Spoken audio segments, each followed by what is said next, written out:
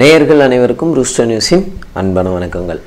மேற்கு வங்க மாநிலத்தில் திரிணாமுல் காங்கிரஸ் மற்றும் பிஜேபி தொண்டர்களுக்கு இடையே ஏற்பட்ட மோதல் இன்னைக்கு மிகப்பெரிய கலவரமாக வெடிச்சிருக்கு. அந்த கலவரத்தை பற்றி தான் இந்த வீடியோவில் நம்ம பார்க்க போகிறோம்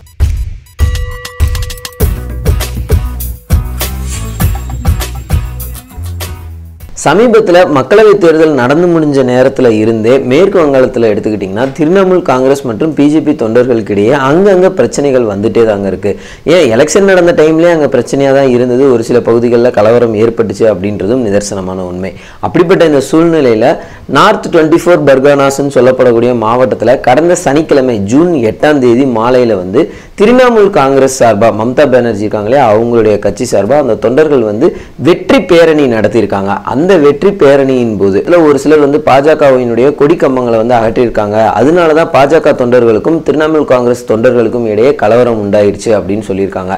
இந்த கலவரத்தில் அங்கே இருந்த வீடுகள் கடைகள்லாம் அடிச்சு நொறுக்கப்பட்டிருக்கு. அது மட்டும் இல்லாமல் மூணு பேர் உயிரிழந்ததாகவும் தகவல் இருக்கு. அந்த மூணு பேரில் இரண்டு பேர் பாஜக தொண்டர்கள் ஒருத்தர் திரிணாமுல் காங்கிரஸை சேர்ந்தவர் அப்படின்றத குறிப்பிட்டிருக்காங்க.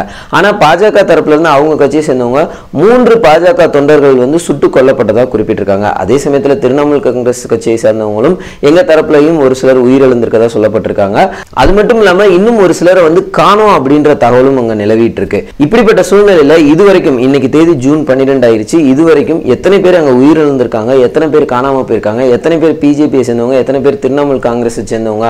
அப்படின்ற ஒரு முழு விவரம் சரியான விவரம் வந்து கிடைக்கவே இல்லைங்க. வெஸ்ட் பெங்காலில் இருக்க மீடியாக்கள் ஆகட்டும் இல்ல மற்ற மீடியாக்கள் ஆகட்டும் இது சம்பந்தமான கருத்துக்கள்ல நிறைய வேறுபாடுகள் இருக்கு. ஒரு சில மீடியாக்களில் வந்து ஐந்து பேர் வரைக்கும் உயிரிழந்திருக்கதா குறிப்பிட்டிருக்காங்க. இன்னும் ஒரு சில மீடியா மீடியாக்கள்ல மூணு பேர் வரைக்கும் சுட்டுக் கொல்லப்பட்டிருக்காங்க. இன்னும் இரண்டு பேர் வந்து அறிவாளால வெட்டி கொல்லப்பட்டிருக்காங்கன்ற மாதிரி குறிப்பிட்டிருக்காங்க. இந்த சூழ்நிலையில ஜூன் ஒன்பதாம் தேதி ஞாயிற்றுக்கிழமை பாஜகவை சேர்ந்த தொண்டர்கள் பாஜக தரப்புல இறந்து போனவங்களுடைய உடல்களை எடுத்துக்கிட்டு கொல்கத்தா வரைக்கும் பேரணியா கொண்டு போய் அங்க வச்சு இறுதி மரியாதையெல்லாம் செலுத்திட்டு தகனம் செய்ய இருக்கிறதா ஊர்வலமா எடுத்துட்டு போறாங்க.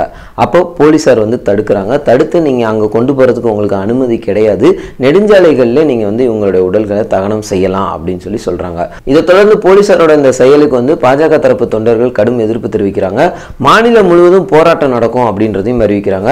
அது மட்டும் இல்லாம ஜூன் பத்தாம் தேதி பாஜக தரப்புல இருந்து பந்த் நடக்கும் அப்படின்றதையும் அறிவிக்கிறாங்க. இது எல்லாத்தையும் தாண்டி ஜூன் பன்னிரெண்டு அதாவது இன்னைக்கு தேதியில தலைமை காவல் நிலையம் நோக்கி ஒரு பேரணி நடக்கும் அப்படின்றதையும் அழைப்பு விடுத்திருந்தாங்க. மேலும் பாஜக தலைமை இந்த சம்பவம் தொடர்பாக அமித்ஷா அவர்கள் கிட்ட புகார் வைக்கிறாங்க.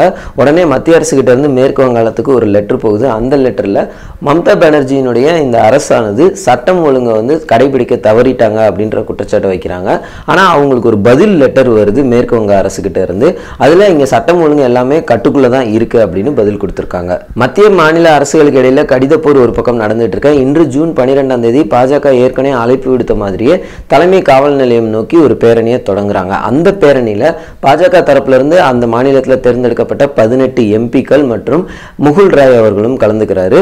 அவர் மட்டும் இல்லாம திலீப் கோஷ் மேற்கு வங்காளத்தினுடைய பாஜக தலைவர் மற்றும் அவங்களோட பிஜேபி மைண்டர்னு சொல்லப்படுற கைலாஸ் விஜய் வர்கியா அவங்களும் கலந்துக்கிறாங்க இந்த பேரணியில. இந்த பேரணியின் போது என்ஐஏ அப்படின்னு சொல்லப்படுற ஆன்டி டெரர் ப்ராப் ஏஜென்சி மூலமா இன்வெஸ்டிகேஷன் நடத்தணும் அப்படின்ற கோரிக்கையை முன்வைக்கிறாங்க. தலைமை காவல் நிலையை நோக்கி வந்த இந்த பேரணியை தடுக்கிறதுக்கு போலீஸார் முயற்சி பண்றாங்க. வாட்டர் ஃபோர்ஸை பயன்படுத்துறாங்க. கண்ணீர் புகைக்குண்டுகளையும் பயன்படுத்துறாங்க.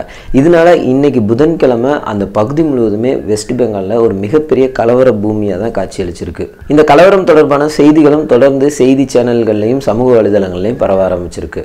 ஒட்டுமொத்தமாக இந்த சம்பவம் தொடர்பாக திரிணாமுல் காங்கிரஸ் கட்சியை சேர்ந்தவங்க என்ன சொல்றாங்கன்னா அரசியல் நோக்கத்தோட பிஜேபி தொண்டர்களை தூண்டி விட்டுருக்காங்கன்ற கருத்தை முன்வைக்கிறாங்க. மம்தா பானர்ஜி அவங்க சொல்றப்ப பாஜக தலைமை மேற்கு வங்காளத்தில் ஆட்சியை கலைக்கணும்னு முடிவு பண்ணி திட்டம் போட்டு சதி வேலைகளை தூண்டி விட்டுருக்கதா குறிப்பிட்டிருக்காங்க.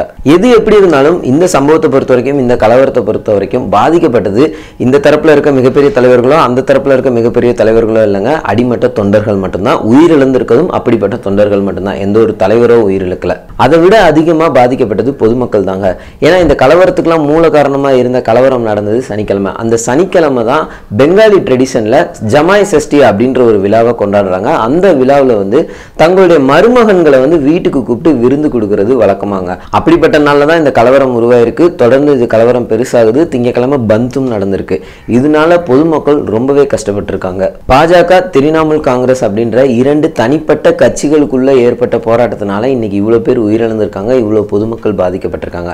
இந்த மாதிரி சம்பவங்களில் இனிமேலாவது இப்படி நடக்காமல் இருக்கிறதுக்கு சுப்ரீம் கோர்ட் தாமாக முன் வந்து இது போன்ற விஷயங்களில் ஒரு கடுமையான நடவடிக்கை எடுக்கணும் அப்படின்ற கோரிக்கையை இங்கே முன்வைத்து கொண்டு வேறொரு வீடியோவில் உங்களை சந்திக்கும் வரை உங்களிடமிருந்து விடைபெறுவது த ரூஸ்டர் நியூஸ் டீம் இந்த வீடியோ பற்றின கருத்துக்களை கமெண்ட்டில் பதிவு பண்ணுங்கள் இந்த வீடியோ உங்களுக்கு பிடிச்சிருந்தா லைக் பண்ணுங்கள் ஷேர் பண்ணுங்கள் த ரூஸ் நியூஸ் சேனலை சப்ஸ்கிரைப் பண்ணுங்கள் மறக்காமல் பெல் சிம்பிளை ப்ரெஸ் பண்ணுங்கள் நன்றி வணக்கம்.